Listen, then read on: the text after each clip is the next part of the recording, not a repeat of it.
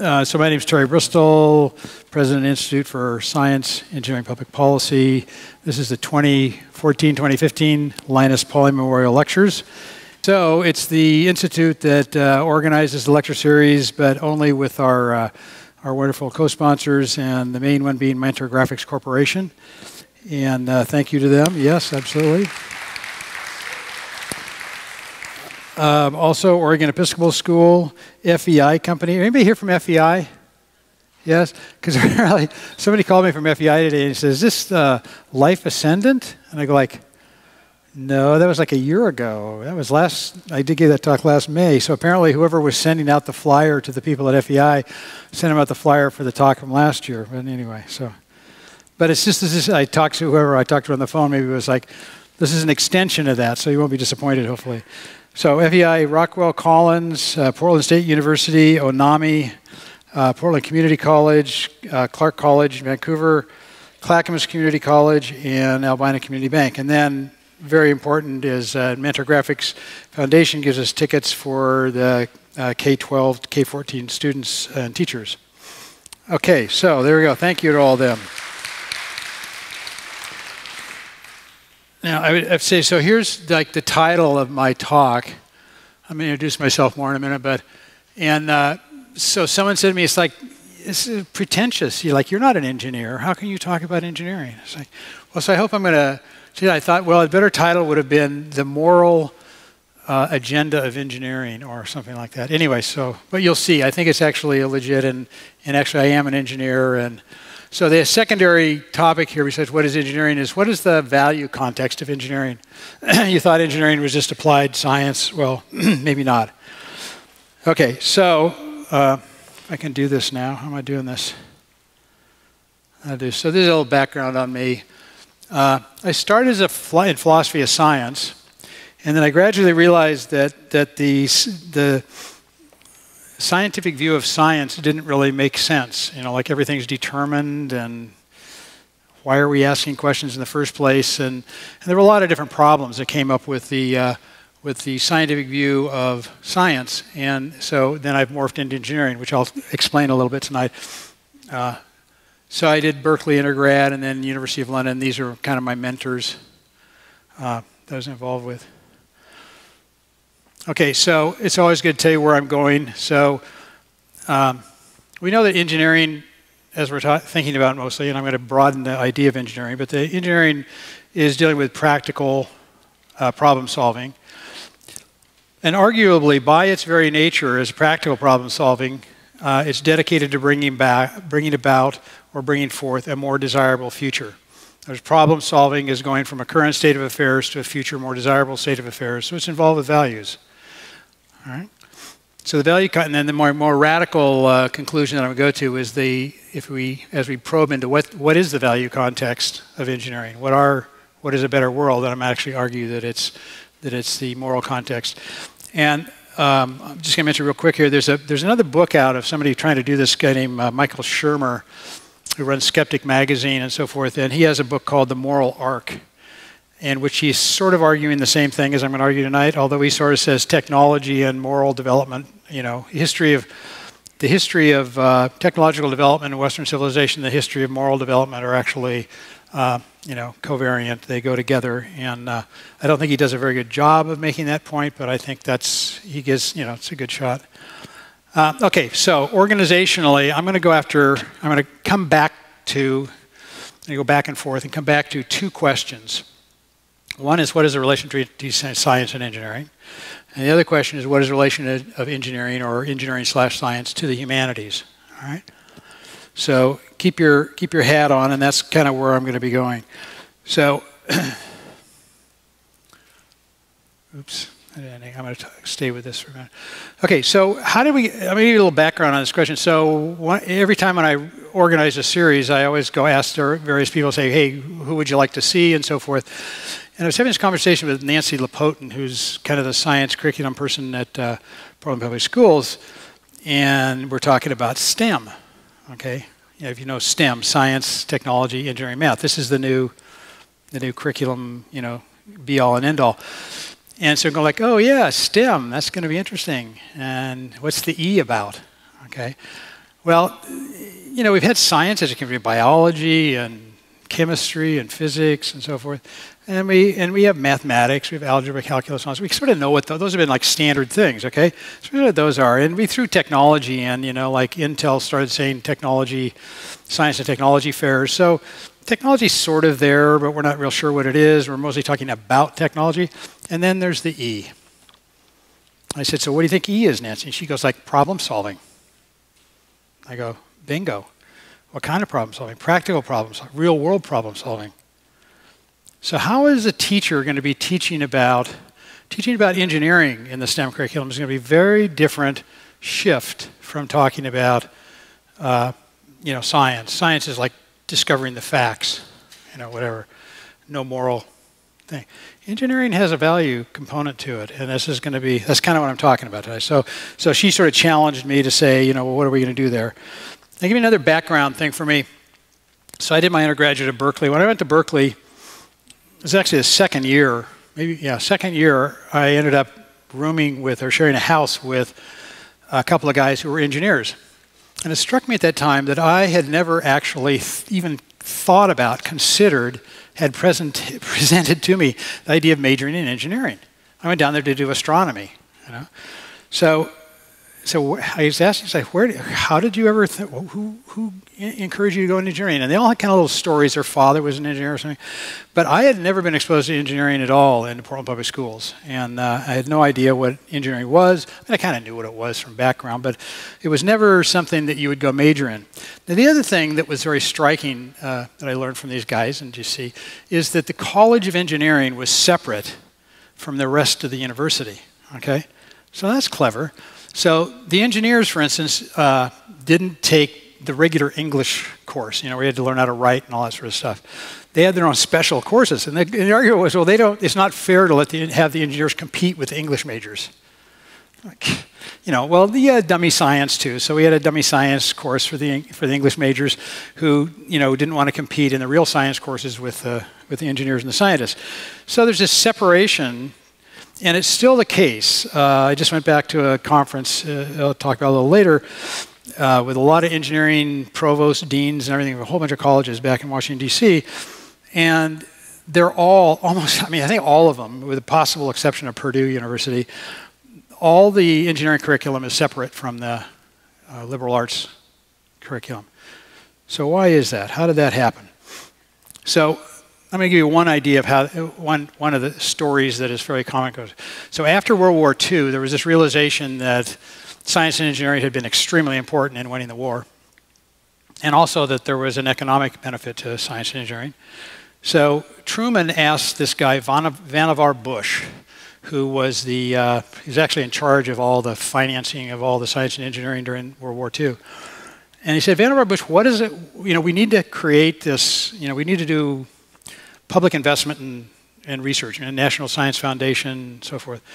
How are we going to do this? What is it? And what is, what's the difference between science and engineering? So Bush writes, writes this book called Science, the Endless Frontier. And, uh, and, and, to, be, to be fair to him, he, he does say in it, he said, I don't really know what the relationship is between them. There's some ambiguity there.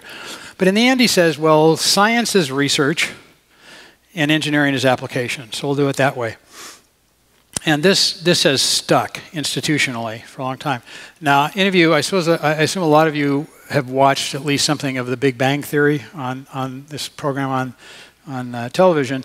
And you notice in the Big Bang Theory, Howard is the engineer, and Howard is always put down by Sheldon and you know Leonard is they're the scientists. You know, yeah, well, I have a PhD, know, Leonard or uh, uh, Howard, a master's degree from.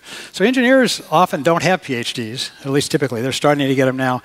But the engineer was always down. And when somebody told me, well, oh, they said, oh yeah, I said at MIT, if you have a three-story building, the science department has the top floor, the mathematics people have the second floor, and the engineers are always on the bottom floor. So there's this ranking that you know the engineers are sort of like they don't really rank, and they're and they're just considered like you know people that apply things. Uh, so, oh, and the last another consequence. Well, one consequence. So is when engineers uh, engineers as, a, as we say were scientized. So there was there is an engineering tradition that was independent of this, and it goes way back and forward and was still around in some places. But what happened after World War II is that engineering education, they did, you know, engineers didn't, a lot of them didn't get college degrees. So now we're going to have college degrees for engineers. Well, who's going to teach them? Well, they're applied scientists, so let's have the scientists teach them. So, and the word we use is that the, the engineers got scientized. Okay, so they got they were told they were given the science framework. This is what you know. This is what the universe is about. It's all you know. Science is the universe, and we're going to teach you guys some stuff. And and as uh, Steve Weinberg said, isn't it quaint that the engineers think that they can actually uh, uh, change the course of events in the world because we scientists know that it's all determined by these you know universal laws. And that's what that's the way they they were taught. And so as a concept, one consequence of that, let's say we get together and we have a project that we're to we want to build a bridge across, across the Willamette. So you get the bankers and the government people and uh, some corporations and, and maybe some art people in the community and community interest groups together. We'll all get sit around and talk about what this, and the engineers are too, and talk about this, about this project. How are we going to design this project? Well, what happens, the first people to exit the room are the engineers. And they go like, you guys, I don't, you can't talk about that. I don't know what the hell you're talking about. Uh, you know, so, the engineer, so they go out and they say, look, when you guys figure out what you want, you know, give us the specs and we'll calculate it out for you, okay?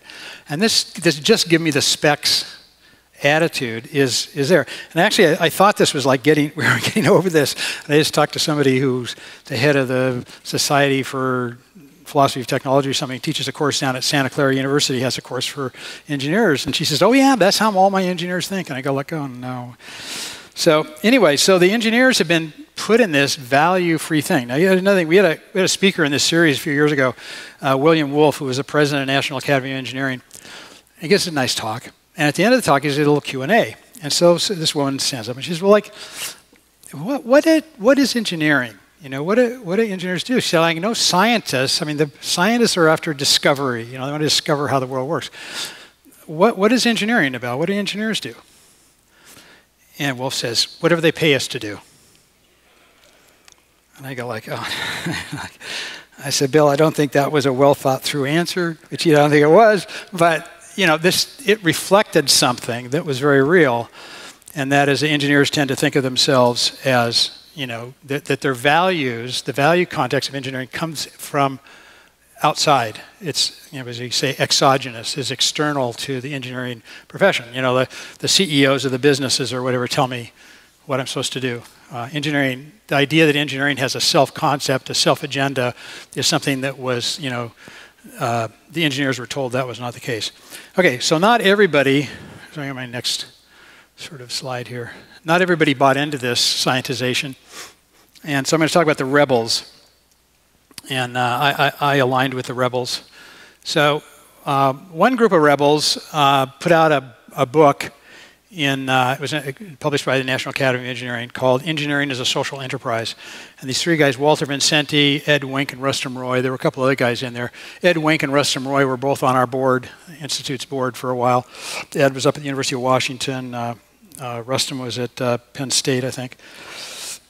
But we spread out and they got on our board. They're, they're big players. So, and essentially what they're saying is, I'm going to read you a little thing. So, engineering is not often thought of as a social enterprise, uh, but in fact, social needs and pressures shape what engineers do as much as engineering and technology shape the nature of society. Okay, so that's kind of their, that goes on and on.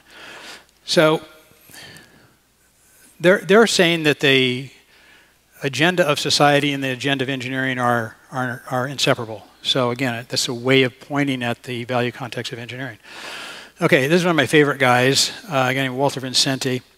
And uh, Walter was uh, Walter wrote this, but he's an aeronautical engineering professor down at Stanford, and he wrote this book called "What Engineers Know and How They Know It," and it's still even today a brilliant book. And it challenged uh, the basic uh, theory of knowledge was scientific theory of knowledge, which if you a lot of if you go into philosophy and, and, epistemology, theory of knowledge, you get a lot of this scientific deal, and I that's what I got. I mean, was, I was bombarded uh, throughout both my science and my philosophy education with this idea that you know knowledge was real knowledge was scientific knowledge, okay, objective scientific knowledge. So Vincenti says here. Uh, uh Engineers are seen as uh, taking their knowledge uh, sort of downstream from scientists and by some occasionally dramatic and probably intellectually uninteresting process, using this knowledge to fashion material artifacts or to come up with something dramatically interesting. And then he says, and he says, engineers know from experience that this is not true. And later on, Vincenti talks about, he's, a, he's, an aeronautical engineer. So as he writes the book, he says, I'm going to stay in the area that I know, which is aeronautical engineering. And he talks about some World War II stuff and a, a, an RF, RAF guy they were making air, during airplanes during World War II. And the guy says, you know, uh, science is good. Science is valuable. It's a good tool. It's a hammer, nails. But science doesn't tell you how to build an airplane. Okay? Science doesn't tell you how to build an iPhone. Science doesn't tell you how to do anything practical, creative in the world. Okay? So what Vincenti's saying is that real knowledge is actually the practical knowledge, and science, you might say that science is uh, uh, feeds engineering. Engineering. So in a way, science is engineering research. Okay, and in fact, another way to put it is uh, um, uh, what we've called scientific research is really applied engineering. Okay, the telescope, the microscope, all these things, all these great scientific discoveries came from uh, these engineering advances. There's a big debate in, when I was going through grad school in the history of science, because history of science guys were all down the line, you know, the science is everything. And then people started pointing out, you know, well, how much of, there was this link, this tie between making engineering advances and then making scientific advances. I mean, Galileo, so wonderful. Well, how was one who found the telescope? Well, who built the telescope? The telescope was an engineering enterprise. Okay, it's not a science. It's not science, but he got all the science coming from this invention. And he started thinking back, there's a bunch of them like that. And it got down to the point where we were kind of going rule of thirds. About a third of the time, you could clearly say that the engineering was coming first and the science later. About a third of the time, you could make an argument that the science stimulated the engineering. And about a third of the time, they're so messy you couldn't figure it out. Now, recently, uh, my friend Henry Petroski at Duke has put out a book called, which I highly recommend, called The, the Essential Engineer, in which Petroski says, actually, it's all engineering. Everything that you thought was science is actually engineering.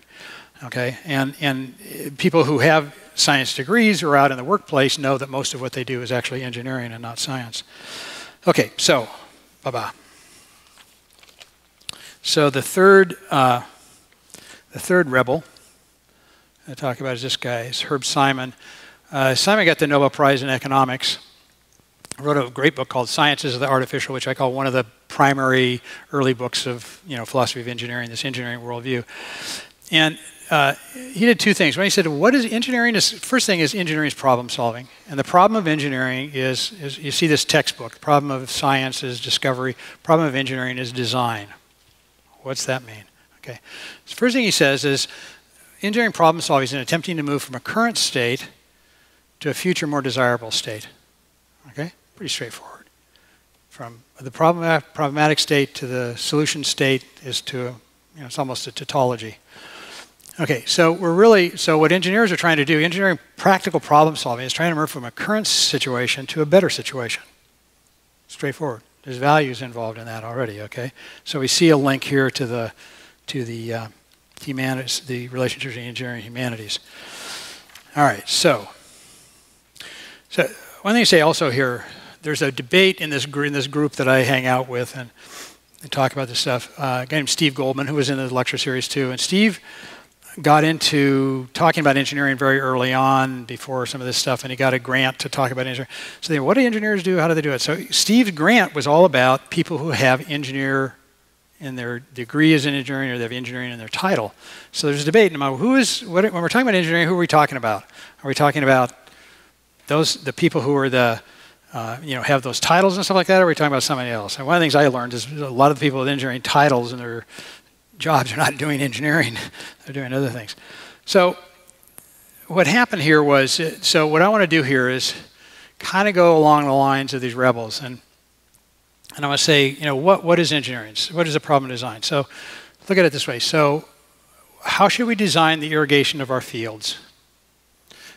Uh, how should we design our houses? How should we design our neighborhoods? Uh, how should we design our cities? How should we design our transportation systems? How should we design our communication systems? How should we design our economy? We're going to have tariffs, trade. What are we going to do? That's a design question. Uh, how are we going to design our political system to, you know, make sure our everything else works? And when you're talking about designing a political system, you're into Plato's Republic. for those of you who had a little, little stuff. So one way to express this is the U.S. Constitution is an experimental design document. It's not a science document. Okay, it's a document about, it's an experiment. We're, we are the experiment. We have this experiment. Let's try to live together this way. This is how we, we're going to try and answer the question, how should we live? Which is a fundamental moral question. How should we live? And the U.S. Constitution is our, is our experimental, you know, exploration, okay? So it's a design document. So I see, so here's where I'm expanding. So we're all engineers, okay? And, and, and at some point we're saying, how do I design my life? What's the, my design between work and family? These are all design questions. And the people who are clicking into this are now, instead of talking about engineering, a lot of them are just using the expression design thinking. Okay, so, but all this is coming together and I want to pull it all together. Um, all right, so where am I here? Uh, so part three. So I have to go through this, and I'm going to do it fast because this is what my last lectures are about. But I kind of have to do it for where I want to end up in the part four. So part three is simply to say something, something's happening in the 20, 20th century. There's been a paradigm shift. And the paradigm shift is from the scientific worldview to an engineering worldview. Now, the simplest way to put this is the scientific uh, uh, hypothesis, so to speak, is that all phenomena are governed by, all phenomena in the universe are governed by one universal order, one time, space, invariant order. Where does that come from? It's just another version for repeatability. So if I have scientific knowledge, then I, it's repeatable knowledge. So I, I, can run Galileo's experiment, dropping the balls uh, from, from Pisa in 1575 or whatever it was. I can do the same experiment in Portland, Oregon in 2015. So it's time variance, location variance, space variance. So the laws, whatever the relationships, the regularities are of the universe, are time invariant and space invariant. Now, what happens with the scientific hypothesis is you expand that, extrapolate that.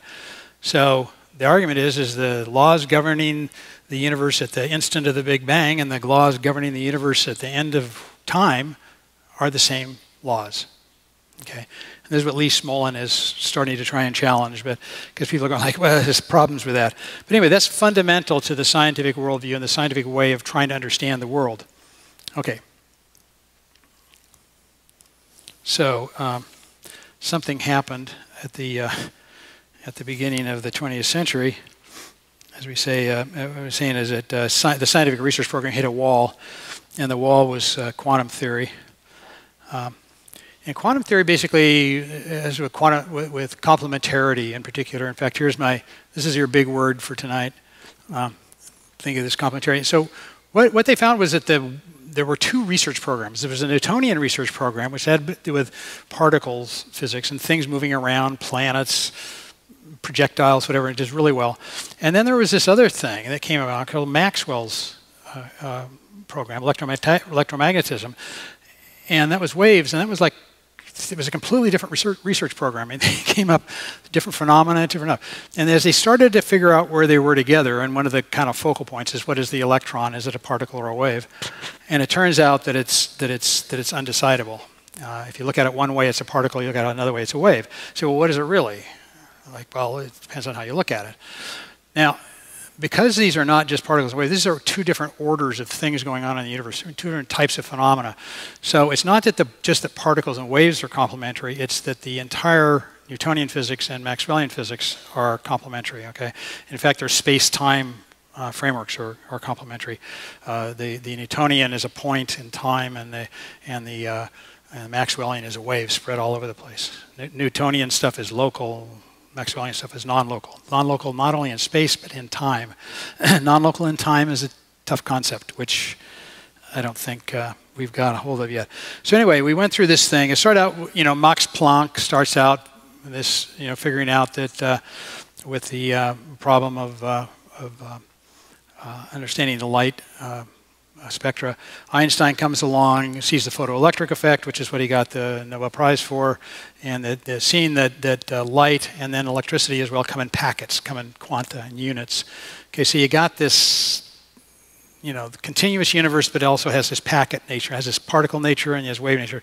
So what is it? So Bohr and Heisenberg um, argued for this idea of complementarity, and uh, and basically what, was lost what was lost was the idea of objectivity, the idea that there was a way to answer these questions like, is the electron a particle or a wave?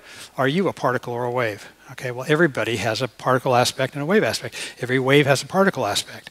So when you ask about anything, what is it? The answer is, well, it depends on how you look at it. All right, so it looks like we can't talk about reality uh, out there anymore unless we specify how we're looking at it. So all of a sudden, the, the person is involved in this. Another thing I want to emphasize is, as it comes out, there, not, there are no waves and there are no particles. Okay, and this is Louis de Broglie's, de Broglie's thing. These are interpenetrating concepts. So even though they're oppositely defined, one's local, one's non-local, one's at rest, one's moving. Um, any anytime you say I'm going to look at a particle, there's always a wave aspect. Anytime you look at a wave, there's always a particle aspect. Okay, so this is like in, in objectivity, used to be the law of excluded middles. Either it's a particle or it's a wave. And now we kind of reverse that. Get rid of those two extremes. Everything's in between. So every phenomena has a particle aspect, a wave aspect, depending on how much you focal, how you want to look at it. So the next big thing was that Heisenberg, and I, I attribute it to Heisenberg, maybe somebody else, but Heisenberg realized it's not just the particle and the wave that are, that are complementary. It's the experimental setups themselves. You've seen the two slit experiment and so forth. So if you set up an experiment one way, you see the particle aspect. You set up another way, you see the wave aspect. So you see it's not just that the phenomena are complementary, those experimental setups are complementary. So the structure of the experiment here and the structure of the experiment here are complementary. Another way to put it is the Maxwellian research program and the part and the Newtonian research program are complementary courses of action. There are two different ways of investigating the world. There are two different ways of problem solving in certain ways, okay? This will become very important at the end, okay? Okay, a couple other things real quick about, about what happened in, uh, in this transition. One is that the, uh, so when I decide which way to look at the world, I'm going to do this type of experiment or this type of experiment, I'm making a choice. And that's a bias. If it's a bias, it's somehow it's a value in some sense. I'm making a value choice. I'm going to look at the, I like the Newtonians better than I like the Maxwellians. So there's some sense in which there's a value choice in there. The other thing is, is when I make the choice, it's, it's not reversible. I mean, I make that choice, then I've gone into a universe in which I made that choice, and the universe goes in that direction. I make the choice this way, it goes in that direction. And these choices that I make and that everybody's making are cumulative over, over time, okay? So the choices don't go away. It's not I'm choosing this one, then I'll choose that one, then I'll choose this one, then that one. Every time I make a choice, it's, it's there. It's historical, okay? So another way to put this, every time you run an experiment, you say, oh, I run this experiment 50 times. Well, and it's the same experiment. Well, it's not really the same experiment because there's a history, there's an irreducible historical element to that sequence. Okay, you ran it once, then you ran it again, then you ran. You got to put it in your notebook. You write it down different times. You're maybe influenced later experiments by what happened in the earlier ones. So there's a there's an irreducible historical aspect to all this stuff going on, which which is not there and doesn't make sense in terms of the uh, scientific model. So. Uh, I got four points. Well, one thing I want to do here is this. So this is this is Niels Bohr, and this is his coat of arms that he put together. Uh, he because he became famous, he was something that ordered the elephant. Those little gold things around, there are actually little mini elephants. The order the elephant in Denmark. Usually, only uh, uh, princes and kings and their cousins and stuff get into this, but because he was so amazing and famous, he did. So he had to put together his own uh, coat of arms. And this is the coat of arms that he pulled up. Okay, and the, the, the little motto over the top is con, contraria sunt. Con, So basically, contraries are complementary. There's a lot of deeper stuff about complementarity. It goes back to contraries and conjugate variables and stuff like that, which I'm not going to go into, but just, just this yin yang thing is going to turn out to be somewhat important to our longer thing here. Okay. Um,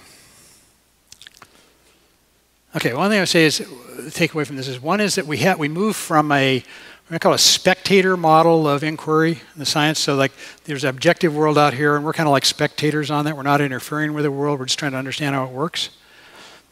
And that doesn't work anymore. So now we're actually participants. We're embedded and embodied in reality.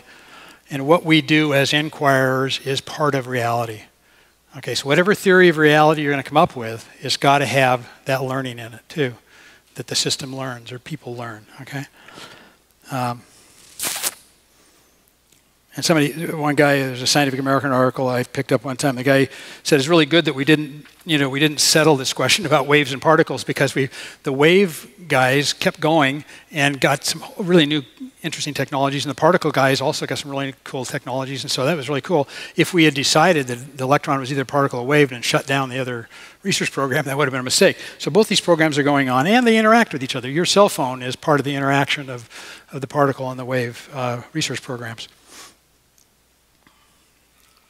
Okay, okay, so the other thing is because I'm making these choices, this thing is historical, but it's also the fact in, in classical physics, is Newton's third law is the easiest way to get at it. Every action has an equal opposite reaction. Okay, so let's just figure that's true. What's the net change? Zero. Okay?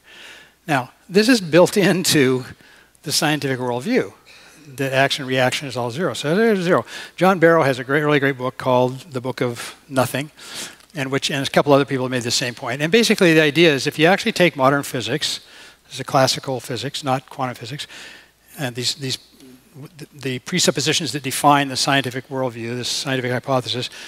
If you add everything up, all the charge all the charge in the universe is supposed to add up to zero. Positive charge, negative charge. All the motions are supposed to add up to zero. So what do you got? You got zero. I asked John, I said, there was a deal of Woody Allen was worried one time in a movie about the, the universe expanding. I asked John, I said, John, should I be worried that the universe doesn't exist? You know, and he goes, I think you should worry about that. So this is, a, this is an implication. The other implication is that it doesn't change, okay? It doesn't, there is no net change in the universe, okay? So not as only is it nothing, but it doesn't evolve. Okay, these are implications of the classical scientific model of science, which goes back to repeatability. Sean Carroll wrote a brilliant book too called From Eternity to Here. She goes to the thermodynamics of this stuff, and he said if you if you just happen to be coming across a universe, let us say, uh, what is the most likely state of that universe? And the answer is equilibrium. So what Carroll is saying is that we really, from the point of view of science, this overwhelming, I mean like 10 to the 100 and whatever, you know, likelihood that any universe you come across will be in equilibrium. Okay? So what he's saying is we don't really have any scientific explanation for the Big Bang. Okay, how is it we started? How, where did this absolutely non-equilibrium point come from? I mean, there's just nothing in science that's going to be able to account for that, which is why Hoyle and all those guys, they actually, the whole expression, the Big Bang, was kind of a put down. Like, oh, yeah, the Big Bang, right. You know, like you can't have that. And Hoyle and those guys went for a steady state universe where, you know, th there was things created and, and going away. Anyway, okay, so that's just to point that out. Um, okay, uh, the last thing that I'm going to do is the paradigm shift is also a problem shift. So we're going from the spectator so what it is to be an inquirer or a problem solver was to kind of learn about the universe and come closer and closer to understanding it. The participant, and we get a participant universe, the problem is different. And the is, is from, I, will express it this way, is from how does the universe work, assuming it's mechanical, to how to work in the universe. Okay, and if I'm a problem solver, like Simon saying, I want to go from a current state to a future, more desirable state. So I want to know, I don't only I want to know how to work in the world, but I also want to know how to make the world work better. Okay, so the participant is an engineer. You with me? All right. So there's something called that I like to call uh, Carnot's epiphany, and uh, this is Sadi Carnot, and he, he, his epiphany was that we're engineers in a world of engineering. Okay, the, the, the universe is not a clockwork. It's not a static clockwork. We're engineers in a world of engineering, and these engineering interactions are developmental. Okay? All right, so, sorry, I'm going time. Okay, so um, I'm going to go over uh, three things about, I, this is my talk, last two talks about the engineering worldview and all this sort of stuff. I'm just going to go real quick because I have to hit a couple of points to get to where I want to go. Uh, okay, so one thing about the engineering worldview that I like, uh, Robert Reid, is a colleague of mine at the University of Victoria, wrote this great book, which I think is almost self-explanatory. It says biological emergences evolution by natural experiment. So what he's saying is the way in which life is evolving is by natural experiment. Okay, it's like, and, and it's seeking to find new relationships and stuff. It explores and experiments, okay? Like engineers do. This is what engineering is about, okay? Exploring. That's how engineers learn. They explore, they try things out, okay?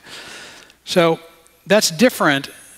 I just want to contrast, it's very different from the, from the, you know, neo-Darwinian thing, where, you know, there's sort of like these, uh, you know, random uh, um, whatever it is. I mean, if, if I'm inventing something on the one hand, inventions are not predictable, but they're not random either. But from the neo-Darwinian point of view, they just have random.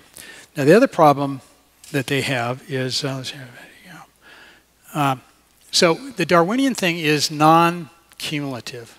Okay, so Reid's process is learning and learning and learning. It was called recursively enabling. You know the word recursive?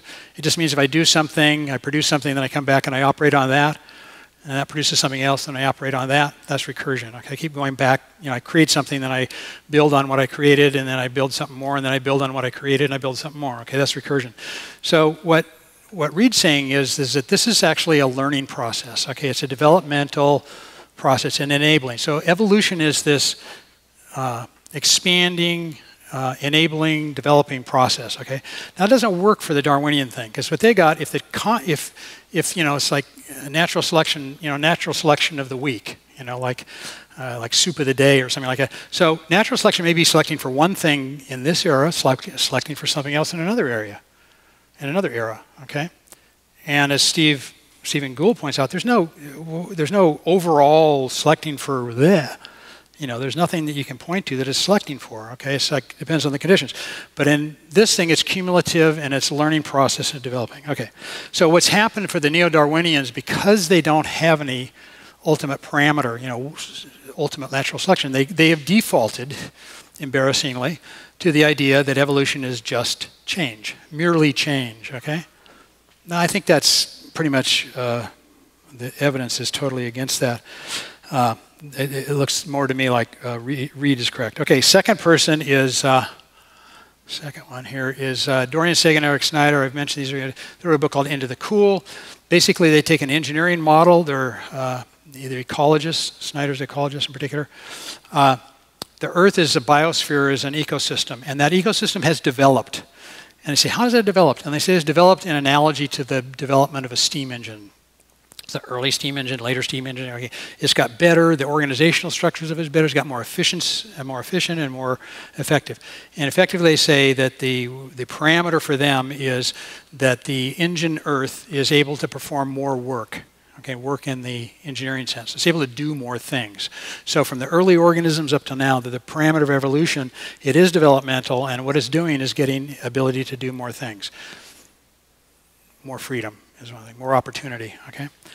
All right, so third one, George Bugliarello, uh, master engineer. Bugliarello says, he was in the lecture series here too, and George wanted to emphasize that engineers should be taught that their work is a natural extension of biological evolution. What that means, of course, is that biological evolution is an engineering process. Okay, so what's wrong with that? Okay, so let me get a contrast. So I, I don't like pick on diabetics, but whatever. So type is easier. So sorry. So we invented insulin now. So people that had type 1 diabetes, used to, they used to die at 12, 14, 16 years old. They're lucky if they ever reproduced. We got insulin in now. Now they live nice, normal lives, okay? And, and they're able to reproduce and they, okay, so arguably, now we have all that type 1 diabetes uh, gene going through the gene pool. We've weakened the gene pool. So that technological advance led to a weakening of the, of the population. Now, the point is, this is actually a general point. So think back to agriculture. Think of all the agricultural technology. Without that agricultural technology, a lot of people just wouldn't be here. You know, you'd be out hunter-gatherers. Okay, we got the plow, we got you know domesticated animals, we did all that. Think of all the technologies, the whole history of Western civilization. All these technologies have expanded. They have not been selecting the the fastest, you know, hottest, most whatever, okay, as the Darwinians do. In fact, this is a cumulative thing, and the process is the, the weaker get to come along with us, okay? And it's not that it's just, I used to say it's survival of the weakest, but it's not just that because the stronger are getting stronger, but we're bringing the weak along with us. I mean, I like good image of Stephen Hawking and whatever. But, but the, the trend of evolution that Bugliarello is putting out is a lot of people said, well, you know, engineers are, engineers are countering natural selection. They're fighting natural selection. Somebody said as soon as we became tool makers, you know, normal evolution ended. Well, I think it goes all the way back. And that's another argument. But anyway, so that just pointing out that this engineering view of evolution is very different from the Darwinian scientific approach. Um, okay. So, last one here, next to the last one. Paul Romer, who I've talked about. Romer made a move. So, in economics, scientific economics is an equilibrium economics, supply, demand, supply, demand. And Romer noted, everybody noted that, that, all of a sudden it was going up like this. Well, wait, it's equilibrium here, but why is it going up? Okay, so the economies were getting better and better at doing something. Okay, since the Industrial Revolution, you know, why is the economy going up? It used to be that the only reason an economy would go up or down was it would fluctuate a little bit, but it was always trying to be in equilibrium. It was always, you know, like action reaction stuff. And Romer made this in 1990. Wrote this famous article now uh, called Endogenous Technological Change. What Romer did this is my hand way of looking at this. Instead of equilibrium, Romer went like this. No, he said, what, what economies are doing is problem solving. Okay, they're trying to move from a current state of affairs to a better state of affairs, economically, socially, all this. You know, they're engines. They're engines. They're trying to develop. They're trying to create wealth. They're trying to make the world better. They're trying to make the population happier, wealthier, more wonderful. Okay, so economics is no longer a scientific discipline; it's an engineering discipline, and in, and economics and whole of Western civilization is an engineering enterprise. Okay. Now, one, I, one, I like this one thing about Romer. So Romer gives this example uh, of what's going on. He says, uh, you know, he says, 10 years ago, I used to, I used to, I had to pay $100 to put a gigabyte of RAM in my computer.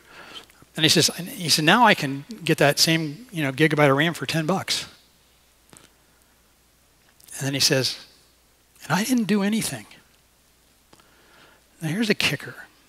What he's saying here is that as a society, as a system, different people solve problems that benefit other people. So all of a sudden I'm going like, wait a minute, do I want to compete with you? Do I want to take all the resources and have them to myself?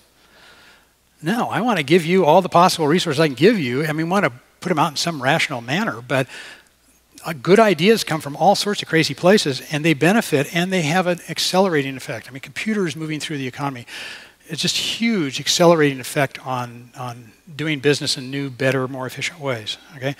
So the message is it's in my interest that others that other people succeed and, and vice versa. Okay, this is a, this is a, what I call one of one of uh, uh, Richard Dawkins' revelations in extended phenotype too. He's like, oh, it's interesting. It's, it's interesting but am I totally selfish? I want the rest of the I want the rest of the environment to be doing well too. You know, like so he kind of doesn't get the whole way, but he kind of gets his revelation.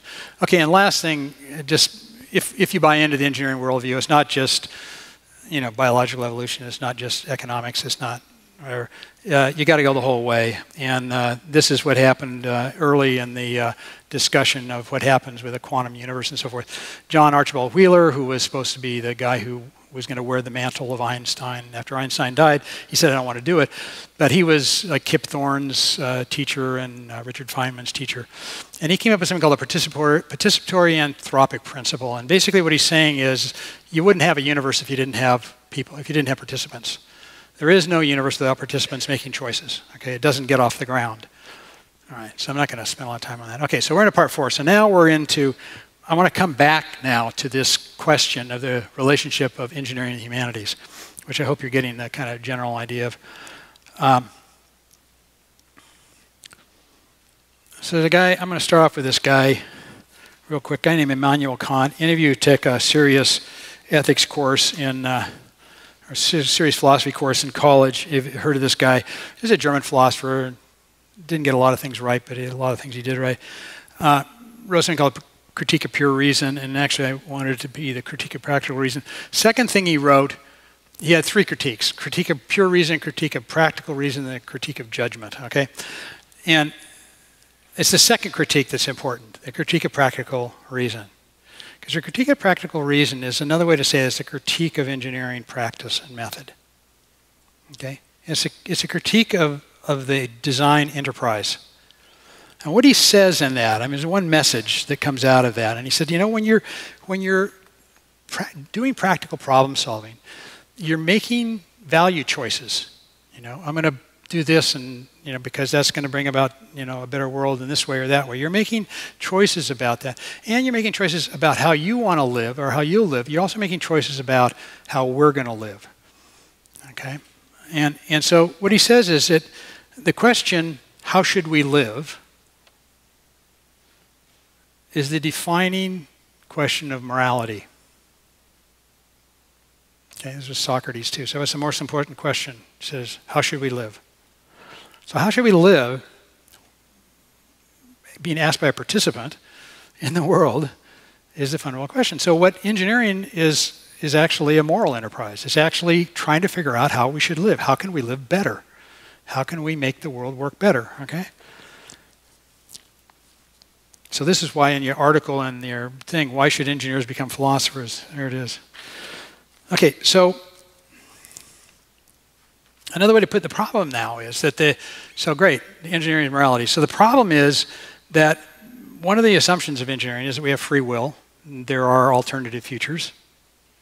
I can wave my hand this way or I can wave it that way. I have choices and there's opportunities. And that's the good news. The bad news is, is I like the way the existential, continental philosophers, existential philosophers put it. They're like, oh great, we have the ability to act in the world, but there's no script. I mean, what, what is it we're supposed to be doing? You know, and, and they, they, they had a lot of existential, a lot of angst, you know, like, oh, what am I going to do? What am I supposed to do? You know, I don't believe the church, you know, but if I don't believe them, I'm, what am I supposed to do? Here I am, free, I can do this. What am I supposed to do? And they had a lot of angst about that, a lot of fear and, you know, who am I really? You know, I mean, when I thought about that, I go like, God, that's cool. I don't, you know, there's nobody telling me what to do. I can do whatever I want. I was like, I got excited about all the creative opportunity in front of me. I go like, hey, I'm this autonomous agent. I can do whatever I can do with this wonderful stuff. Now, obviously, I have some constraints and stuff, but uh, anyway, so the question is, how, how should we organize ourselves? Given that we have this freedom, what should we do? So there's a lot of debate about, there's this uh, middle of the 20th century, a lot of debate about, well, progress, what should be our progress policy? And it was just a mess. Everybody had different ideas. So the default was uh, sustainability. Okay, we can all agree that one thing we don't want to do, we may not know how we want to go forward, but we know we don't want to go backwards. Okay, so let's not do anything that undermines our ability to, you know, be here and consider other options. Now, so Kant takes another step. Excuse me, and this is and it's called the uh, it's called the groundwork of the metaphysics of morals. If you ever took a college ethics course, you hopefully got exposed to this. And roughly speaking, Kant sort of asked the question. He's like, well, I can't say anything we should do. What can we do? What can we say about our general, a general principle of how we should act in the world? He said, well, first of all, uh, he's looking for a general design principle, if you like. How should we design our lives? How should we design our thing? And he said, well, the first thing is, is in terms of the specifics, it's going to depend on the people and the circumstances and the age. And, you know, I, I can't tell you what to do on specific things. But he says maybe there's something that we can say. And he calls it some, some general principle that's going to be applicable to all situations. Okay? And he calls it the categorical imperative. And a categorical imperative is usually a lot of people say, well, this is a Kant's version of the, of the golden rule do unto others as you would have them do unto you. That can be a general principle. It doesn't tell you what to do exactly in this situation or that situation, but it says, you know, when you're making your decision, you know, do unto others as you have them do unto you. So Kant reasons in this. He said, well, look, there's certain things like stealing and lying and cheating and so forth that, that if we do those, if we start doing those, and the easy way to say this, what goes around comes around. So if you start doing those, if those become actions in the world, then they're going to be things that are that that you know undermine the sustainability of the system. They, you know, people aren't going to trust each other, and you know the, the possibility of doing good things in the world is going to be going to be undermined. So the opportunity space is going to shrink. So, and generally, just you know, don't be selfish is one way to put it. I mean, don't try to, don't try to gain by diminishing others. doing to others, you have doing to you. And what this is for, for Kant, this is like a principle of moral sustainability. Okay? They're saying if you don't, if we don't do that, then the system's going to, you know, everybody's going to start cheating each other, and it's who can cheat the other person the best way and lie and defraud them and so forth. Okay, we only somebody will say you only cooperate with somebody until you get a chance to stab them in the back later. You know, like so. I would call it, I'm going to call this a negative, constant negative heuristic. Heuristic is a big word for methods and how you're going to do things. Okay. So, but what's a positive heuristic? So, a negative heuristic, fine. You're not don't don't cheat, steal, lie, don't screw people, whatever. So, what's so? But what we need, we still don't know what to do. Okay. So what is? So I'm telling my engineer and all the whole range of engineering. Well, how are we going to act? Well, don't screw people. All right. Well, then what do I do? And a lot of people said, well, that's a nice form, but there's no content to it. It doesn't tell me, you know, it doesn't get me anywhere on a day-to-day basis. So one thing, one thing that's good about the, the Dawkins, you know, selfish gene stuff was it brought up this really nice debate in evolutionary theory between, well, should you be selfish or, you know, everything, everything's selfish. It's all selfish, and you're irrational if you're being you know altruistic and selfless. And and it's important to understand Dawkins' formal definitions of what it means to be selfish and selfish. To be selfish, you need to gain for yourself, but you also you in order to gain, you also have to diminish somebody else. Okay, that's the only way you can gain. And if you're going to be selfless, you have to let somebody else gain and diminish yourself. Okay, you can't just you know they're they're tied, and the reason they're tied together is this zero sum game stuff. Okay, action, reaction, symmetry, no change. Okay, so there's no real change in, in what's in the world, and the only way to get ahead in the world, according to Dawkins, is to diminish others. Okay? Now, there's been a lot of debate about this, obviously. Uh, a lot of people have bought into Dawkins. I saw somebody say, "Oh, this kid came uh, driving over to see the this uh, Dawkins lecture, and he said the kid, because he read your book, The Selfish Gene, he gave up his religion." And Dawkins, Dawkins responds, he goes like, yeah, I think maybe sort of overemphasized that a little bit. So anyway, so this is direct conflict with what Kant's saying, okay? Kant's saying, no, trying to be selfish, that's a bad move. And the main thing is this that I want to get across is this zero-sum game stuff. Okay, and, and of course Romer's saying, okay, we're getting there, we're getting there. Okay, so here's where complementary enters, re-enters. Okay, complementary in physics. So what I say, and remember I've said that like the Newtonian program was a, you know, a, a way of solving problems, okay, and a Maxwellian way of solving problems, and maybe they work together a little bit. So what I want to say is that there's a very general, complementary is very general. And complementary is about, there are complementary design agendas, okay? For instance, individualism socialism, Republicans, Democrats, okay? These are different design agendas, okay? They think like, this is the way you should go, this is the way you should go, okay? And the existence of these is extremely important for our engineering practice and thinking about what you're doing as an engineer at any of these levels. And if they are complementary, here's the real problem. If they are complementary, they're not resolvable. Okay? So each one has a different language the language of waves, language of particles, language of free enterprise, and language of socialism, and they just talk past each other. Ever, you've seen any of this in the political debate? Yes. Okay. And uh, so that goes on a lot. So, but if they're not resolved, so a guy was influential on me, the guy named uh, Michael Oakeshott, guy in London who's a political scientist. And, and Oakeshott makes this statement. He said, no working society, or he said, every working society has a cooperative aspect and a competitive aspect. Okay, if you actually try and think through, could you have a purely competitive, a purely, so you can't, okay? They all, all real working societies have both those complementary aspects. Isn't that interesting? Okay, so maybe example, this is my example, some people don't like this. So say you go to a soccer match, in a soccer match, you're, you're, you're watching a soccer match. Me ask you a question. What are you observing? Are you observing competitive behavior or cooperative behavior? Okay? Both. More than that, they're actually interdependent. And, and uh, I mean, you got to have rules. Where's the goal? What's outside? What's a foul? You know, and those rules, in some sense, allow the competitors to be to do their best thing. Okay. Now, the other thing is if you just if you just go totally competitive, one thing that happens is old Socratic argument He says, well, competition, that's great. Okay, the universe is all competitive. There are competitions are winners and losers, right? Oh yeah, right. So over a period of time, each time you have another, sooner or later, one person is going to be the winner of everything, is going to own everything, okay? In the economic competition. At which point there's no longer any competition. So the point is if you iterate one of these ideologies, it tends to undermine itself, lead to its all right, okay. So, and I'm going to give you a couple of examples of this. Uh, so the, I'm going to go back to Bohr's. I'm going to go this way, okay? So, the, the, the, the Taoist path. So I'm going to, here's, the, the Tao is this, you know, uh, Chinese ancient thing about how you used to live and everything. And, and the Tao is often translated as the path. So this is, a this is the path forward, okay? This is a path of life, how you should live, sort of thing. And the problem is, and, and, the Tao number one, the first entry is uh, the Tao that can be spoken is not the real Tao. Okay, so I translate this a little bit. The Tao that can be pre-specified, preconceived, written down, is not the real one. Okay. Another way to say it is, is so. So, for instance, I'm trying to be on this path. So, if I listen to uh, one group, I say, whenever in doubt, which is always, Whenever in doubt, always turn to the left.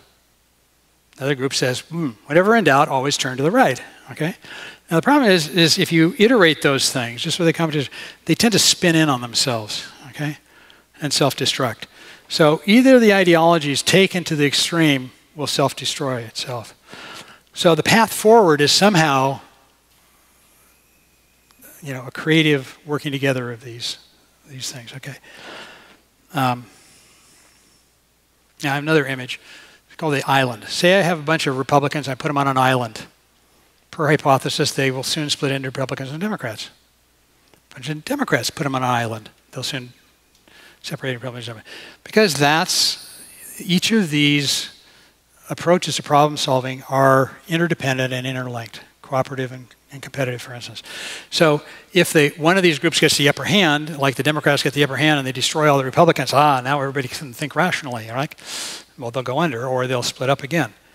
All right. Such is the, the image I'm trying to give you of these, these uh, complementary things. Um, okay, well, I'm going to go on without that. So one other image here. I, I, was in Hawaii one time. I went and secluded myself to uh, figure out the world. And uh, and I was thinking about this stuff, and I was thinking about, started thinking about tough love. You remember the tough love thing? So the tough love thing is sort of like it's between Spock and Dobson. Okay, Spock is like whatever your kid does, love them, you know, and embrace them. Dobson, you know, when a kid does something wrong, you whack them, you know, and. Uh, and everybody, a lot of people said, well, you know, it's, it's the middle way, isn't it? I mean, you want a little bit of discipline, but you also want a little bit of sympathy I'm trying to figure that out. So this evolved into an image in my mind about this competition, how the competition and cooperation work together. And it was this. It was sort of like sort of like a pendulum, okay? At any given moment in time, you know, individualism is gaining and there's lots of good things happening. Oh, more individualism, that's great. But as the pendulum goes up, it's sort of start, it's, it's, we're iterating it, but it's, the, the positive returns are like declining, okay? And the people down here are going like, yeah, I don't think I'm buying into that anymore. The young ones go like, I am buying into those old guys telling me to keep you know more freedom, more individualism, so, and then it starts going the other way. Okay, and then it goes back, and it swings back and forth. Now, ideally, these are working together, but the idea is that the idea is this: is that the advances in individualism plow the field for the seeds of cooperation, and the advances in cooperation sow the seeds for more individualism. Okay, that's my image of how these yin yangs work together. All right, I'm almost done. So the last thing here is in the in Dawkins' zero-sum game, uh, you have win-lose and lose-win. Okay, and what's crucial to this model that I'm suggesting to you is that there are win-win relationships and that's a, that's a challenge, okay? Are there win-win relationships? Well, one thing I say, if there weren't, win-win relationships means that the universe goes somewhere. So actually it isn't, doesn't add up to zero and it doesn't just stay there. Win-win relationships are how the universe is built. Okay, the formation these win-win relationships. My, my uh, favorite uh, business philosopher, uh, uh, Stephen Covey, has a lot of this Seven Habits of Highly Effective People. He talks about this. He says, when you're forming a business relationship, he said, maybe it looks like it's win lose, like you're going to gain more than they are, or you're going to gain, they're going to lose, or maybe you're going to lose and they're going to win. Said, that's the deal. He said, win lose, lose win, no deal. He said, unless it's win win, unless the relationship that we form benefits both of us, then don't do it. Okay, so what we're looking for, so here's the, my design, my general design principle is like, you want to know how to look for a good design, look win-win. Okay, in business and just about in agriculture, anything you talk about, look for the win-win relationship. So any relationship you're talking about, or anything you're designing, should be win-win or win-win-win-win. If you've got multiple. Now the problem, of course, in this dial is this dialogue. How are we going to talk about this? Because they're two different languages. They, you know, this talking past each other stuff. Okay, so we have a system. That, uh, very simply, something I call the parliamentary attitude. The parliamentary attitude is, is the idea of a loyal opposition. opposition. what I say is, that, so when you're talking to someone, so if you're a, you know, kind of on the political right and you're listening to someone on the political left, you know, like, not only do you disagree with them, it appears to you that they're not making sense. Okay? They don't understand, you know, I mean, it's, it's literally, it's like, no, they're irrational. You know, it, doesn't, it doesn't, whatever it is they're saying doesn't translate into your way of thinking and vice versa. You ever had that idea? If I were you, I wouldn't do that. Let's say like, these are different ways of looking at the world, and they're incommensurable. That's the big word, incommensurable. So if we have this situation where we have incommensurable design agendas going on, how do, they, how do we work together? The bad news is we try and wipe each other out and establish one way, all black, all white, whatever. The parliamentary attitude is the idea that we have a dialogue. And one of, one of Covey's uh, ideas of the dialogue, I think, is quite good. It's really kind of funny. He goes, he gets these people, he'll bring them up on stage, like an abortion thing, and you know, pro-abortion, pro pro-life, or pro-choice. And he gets them up there, and he's there, you know, taking shots at each other as they're walking onto the stage. And they sit down, and he said, "Well, here's the deal. Okay, now you shut up." you tell, tell this person over here what your position is. Okay, so here's, a, here's what I think. Now, this person has to tell that person back to them what their position is until they agree. Yeah, you got it. Then they reverse it. Then this guy says, here's what my position is. And he said, in a very short period of time, they're talking the middle ground. They're talking about creative ways to work together. Because a lot of it is like, well, you want to do, you know, they, polarize very quickly. John Haidt has a really great book called The Righteous Tribes or something like that, Righteous something, uh, where he talks about how we get in these tribes and then we start throwing bricks at each other. And the truth is, is that we all kind of are in the middle. Okay, I'm just about done here. So anyway, Covey, so Covey's thing, and I talk to some people who are in counseling, they say, oh, that's why you do marriage counseling. Tell me what you said. You shut up. Tell me what you think is going on. You say it back to them. Go back. So this is listening. One of Covey's things is listen first and then talk. Okay. So the way to find, and these are creative compromises. One of the ideas of compromise it goes out as zero sum game. If you're talking about compromise, if I have the upper hand but you're blocking me, I have to give up a little to get back to. Okay. So it's still zero sum. Why would I compromise? Why would I give up something? Why would I let you be better? Why would I give you more of whatever number amount of goods on the table? Why do I split it with you? Okay, so the idea of a creative compromise, which is what this is all about, the creative compromise is we sit down and we start talking and go like, you know, I see what your bottom line is, and you see what my bottom line is. If we work together, we can do something. We can do things that neither one of us could have done by ourselves. Okay, it's called synergy. Okay? So things come about, both of us benefit, and there's something new coming about because we figured out how to work together. All right, so that's the big positive heuristic. I'm going to just close out here real quick.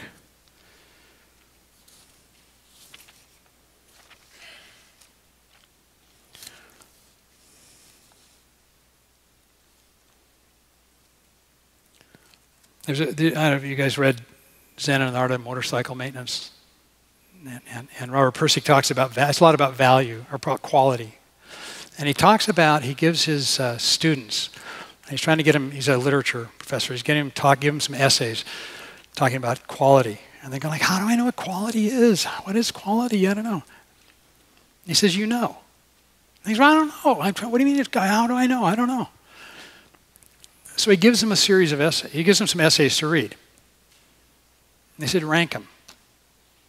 Okay, and he's given them some really, you know, and they all rank them the same. This is brilliant. This is crap. How'd you know? Okay, you know. And part of the idea here is that we are all the result of, of evolution, and we know a lot. And it's you call it your conscience, your intuition, your whatever. So you know a lot about what's good and what isn't good. But we still need, in order to move forward in progress, we need to have this, this yin yang thing. So part of it is, I'm going to give this talk in China in July, shorter version. I only get 15 minutes. So they, but basically the idea is this, is that it, it's this working together that is a positive, that is how you make progress. And it's not easy because these are incommensurable. They don't have exactly the same language. Although, the other thing, there's a thing called aporia is a big word that the Greeks use. And aporia is a Greek translated as puzzlement. And Socrates would always start somebody and they say, "Oh, gee, I heard heard uh, Glenn that uh, you have the answer to the way the world works." And he goes, "Yeah, it's all, everything is competition." He goes like, "God, I'm so happy to hear that. You know, I've been thinking about this for a long time, and I, finally you've got the answer." He says, "But you know, this is such an important question. Do you, do you, do you mind if I ask you a few questions about it?" Guess, of course, of course. So he starts, you know, soccer game. So he starts talking about the competition, and it turns out that the guy actually doesn't just believe in competition, he believes in cooperation in the world as well. And th at this point, uh, this is the point of aporia, when the person realizes he thinks I'm a free enterprise ideologue, and then he realizes, well, of course, you got to have some rules and you got to have some agreements and all that. So all of a sudden, you realize, and the argument is this: as you, we don't really have beliefs. Is the argument? Okay, you think you believe this or you believe that what's circumstantial, okay? You believe you have a range. You, we're all middle ground. We're all like this. We all can understand the value of competition. We can all understand the value of cooperation if we listen and if we think about it, okay? So the message for the general design, the positive heuristic, positive heuristic for the design agenda is to be able to uh, co uh, communicate and look for these creative win-win relationships. And that's how the world works. That's how evolution has occurred, and that's how we'll go on. I'll leave it at that. Thank you.